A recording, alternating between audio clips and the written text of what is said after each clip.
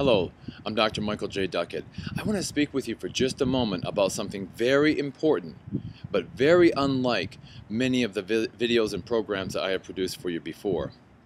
I'd like to talk to you about preparing for natural disasters and terrorism.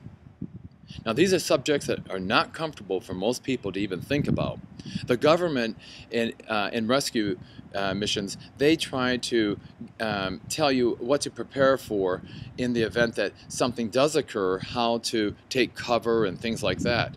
But nobody is really teaching you on what to do ahead of time for after the fact.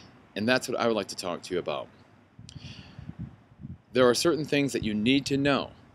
First of all, look around. Environmental disasters are occurring very prevalently, more today than they have throughout recorded history at least. We also know that international terrorism is a definite threat, not a probable threat, but a definite threat. And that threat increases every day as well. Now, I don't want to be the doctor of doom here, but I do want to tell you that you and your family, you should be prepared for these natural disasters so that you can survive afterwards. Not only take cover before it occurs, but what to do after the fact.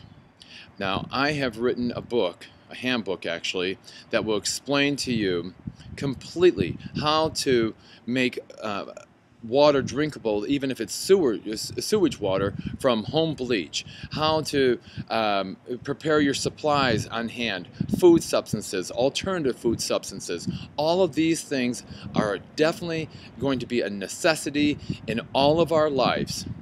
Again, not to be negative here, but it's just to be prepared so that you can continue on with your desires in life.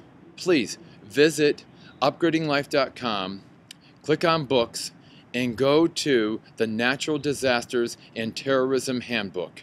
It will explain to you in full exactly what you need to know to protect yourself and your family. You either are going to go there now or you're going to try to get to it after a nat natural disaster occurs. And when if the internet is down, if electricity is gone, if your water supply and food supplies are gone, it might be much harder to retrieve this information then.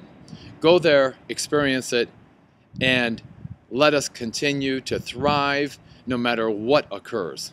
This is Dr. Michael J. Duckett. Thank you for sharing this part of your life with me.